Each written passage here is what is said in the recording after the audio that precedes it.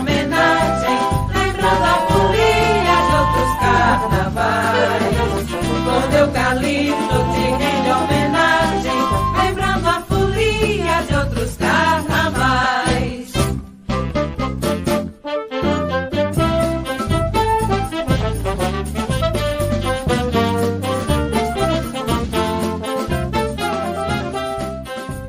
Bom, esse é o programa Moreno Tem Cultura que está sendo, que está tendo apoio na sua segunda edição pela Lei de Incentivo ao Audiovisual Paulo Gustavo. Então a gente já vai mandando como de plástico é, um abraço para todo o pessoal do Ministério da Cultura, Governo Federal e a Prefeitura Municipal do Moreno, que fez a distribuição da verba no nosso município. A segunda edição do programa Moreno Tem Cultura vai contar com uma presença religiosa, sagrada e, digamos assim, profana na pessoa de um ativista literário, de um ativista do movimento negro e um grande representante das religiões de matriz africana da cidade do Moreno, Pernambuco e, quiçá, do Brasil. Hoje a gente vai bater um papo com Alan Davidson. Olá, um bom dia ancestral a todos, todas, todos. Eu sou Alan Davidson, socialmente e religiosamente conhecido como Pai Alan de Oxalá, estou aqui para contribuir com o programa, né, para falar um pouco da nossa tradição religiosa, da cultura religiosa de matriz africana, afro-indígena, né, e dizer que a gente vem nessa luta já há mais de 20 anos, é, divulgando, resgatando né, a tradição religiosa na nossa cidade, no estado de Pernambuco. Já passei por alguns espaços, por exemplo, sou membro fundador do Conselho Municipal de Promoção da Igualdade Racial aqui do município do Moreno, fui membro fundador do Fórum de Educação para as Relações Étnico-Raciais aqui também da cidade de Moreno, fiz parte da equipe da Coordenadoria Estadual de Igualdade Racial e agora estou como na Secretaria de Saúde de Moreno, na pasta de Igualdade Racial e Saúde da População Negra. Então a gente vem de uma trajetória onde buscando o resgate né, e a desconstrução do racismo, do preconceito, da discriminação e da intolerância religiosa, em especial no município de Moreno. O nome do programa é Moreno Tem Cultura. A casa do Pai Alain, é, popularmente conhecido, né, Pai Alain de, de, de, Oxalá. de Oxalá, foi contemplada tanto com a Lei Paulo Gustavo como a Lei Blanc I. E aí esse papo é faltado na cultura afro-indígena, no aspecto mais cultural da nossa religião. Como, por exemplo, preconceituosamente, muitas pessoas apontam as pessoas de matriz africana dizendo que a pessoa é macumbeiro.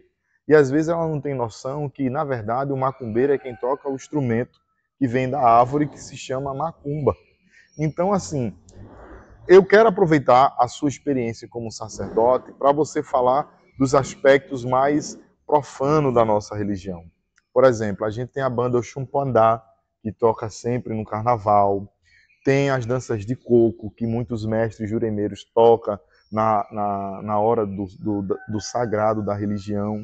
E todos esses movimentos também vão para ruas em momentos de festa. Então, qual é a diferença disso? Porque muitas pessoas dizem, né?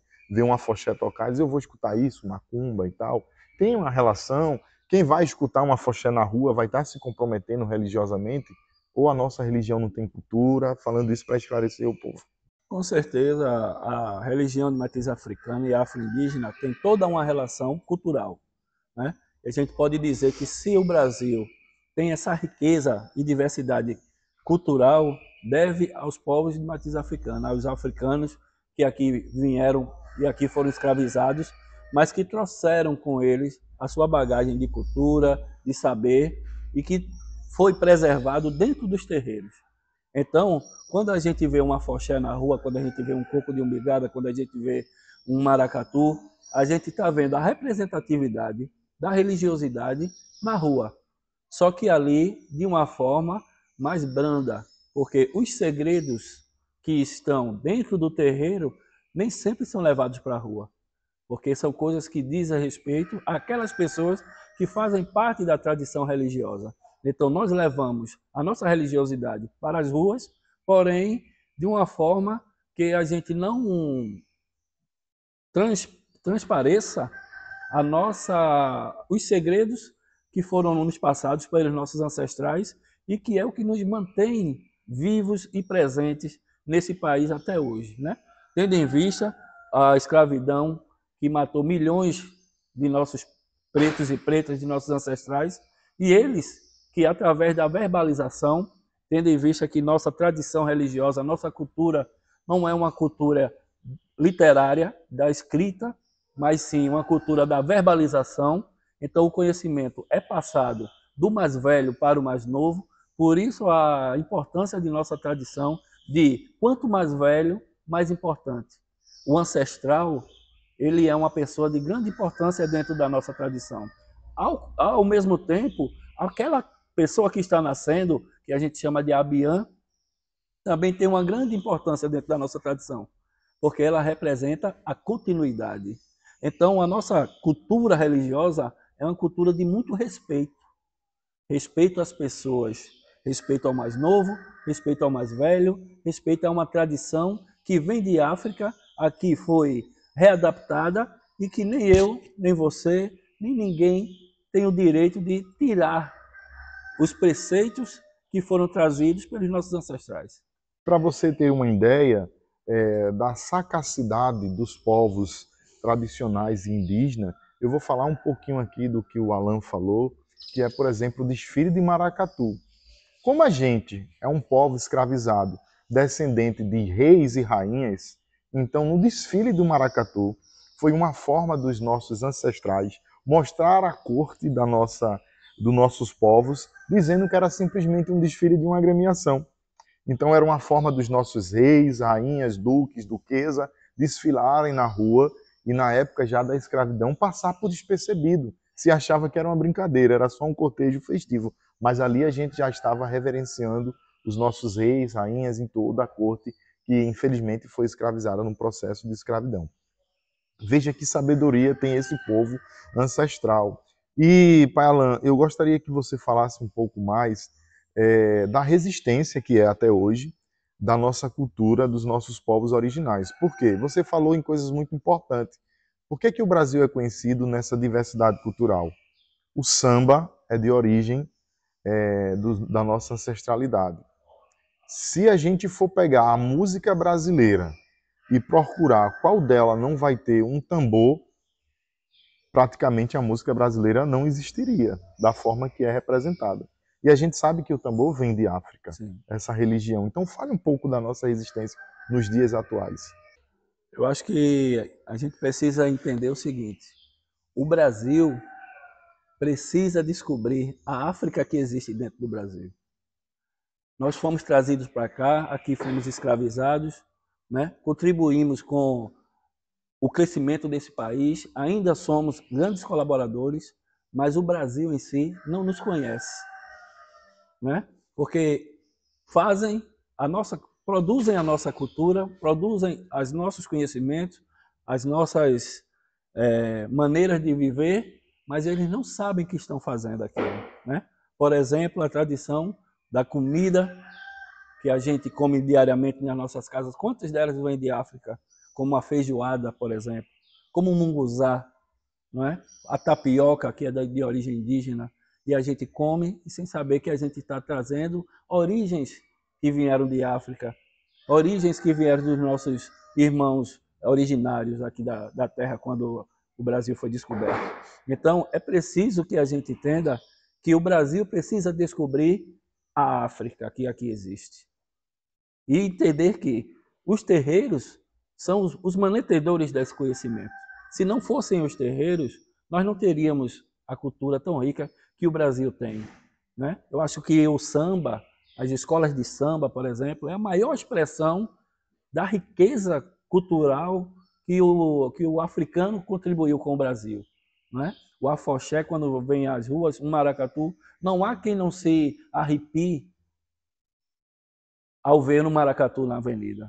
E esse arrepiar, os meus mais velhos dizem que é acender a ancestralidade que a gente tem. Então, se eu me arrepio, eu estou acendendo a minha ancestralidade. Então, quantos de nós temos aquela ancestralidade africana e a gente ainda não nos reconhecemos como tal, porque esse país é, é construído muito com a força do povo africano. Então, somos resultado da raça branca, da raça indígena, da raça africana e de outras culturas que aqui vieram contribuir na construção desse país. Mas, em especial, em um país que tem a sua maioria de pessoas pretas e pardas e não se reconhece assim, a gente precisa voltar ao passado e refazer essa história e descobrir quem são os verdadeiros donos dessa terra. Bom, gente, e é bom lembrar a você que está assistindo o programa Moreno Tem Cultura, que está nessa segunda edição, que esse programa vem de origem de um catálogo cultural que foi financiado pela Lei Aldir Blanc I, que tem o mesmo nome, Moreno Tem Cultura, e que está disponível na sua versão em e-book em nosso site oficial, editoraserpoeta.com.br. É só você entrar na nossa loja, procurar Moreno Tem Cultura e você pode fazer o download gratuitamente para conhecer um pouco da nossa cultura morenense. Mas, Alan, eu gostaria que você é, fizesse seus agradecimentos finais. Se tem alguma coisa que você acha que a gente deveria perguntar e não perguntou, fique à vontade. O pessoal da Filmake vai gravar e o momento é seu para a nossa lente. Eu gostaria de falar da, da desdemonização da nossa tradição religiosa. Não existe demônio em religião que fala de Deus. Isso é algo inconcebível. E nossa religião é uma religião que eleva ao Deus ao qual nós chamamos de Olorum, Olodumare, Olodum, Zambi, né? Tupã, tantas as formas, mas que, são, que leva a um ser supremo único. A nossa tradição religiosa é uma religião que trata com respeito à natureza. Porque a gente se entende como a religião que cultua a natureza como forma de orixá. Então, quando chove, eu estou adorando a natureza ao orixá das águas. Eu estou adorando ao Xum nas cachoeiras, nos rios. Eu estou adorando a Iemanjá nas águas salgadas do mar.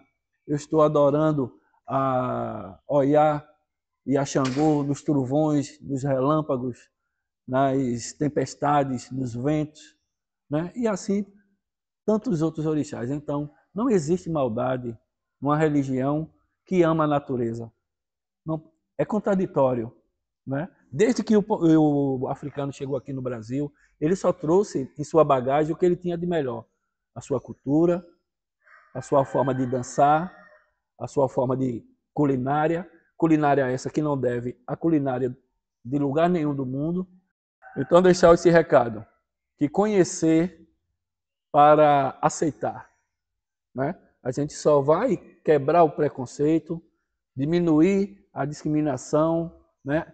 A, é, diminuir a intolerância religiosa quando nós nos permitirmos conhecer, conversar, abrir-se para o conhecimento.